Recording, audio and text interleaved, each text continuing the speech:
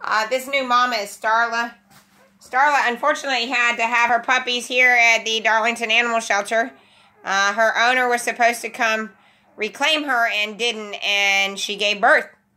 Uh, now, we have not been able to, we have not heard from the owner, and there are one, two, three, four, five, six puppies, and a mama now.